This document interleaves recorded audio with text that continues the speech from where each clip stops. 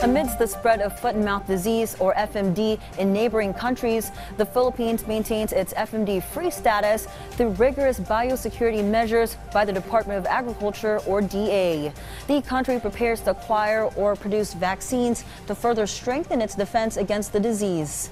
Despite recent outbreaks like avian influenza in the U.S., the country chooses not to impose an import ban on beef and dairy products, balancing public health with trade interests prioritizing livestock health, vaccination programs, and biosecurity protocols are done to ensure food security and industry integrity.